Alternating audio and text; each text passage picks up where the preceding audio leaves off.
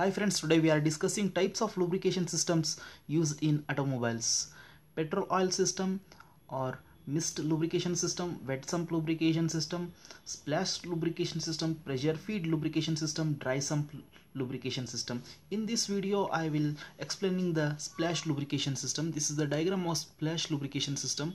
First of all see the parts of the splash lubrication system oil trough, scoop and connecting rod, crankshaft, crank web, overflow pipe.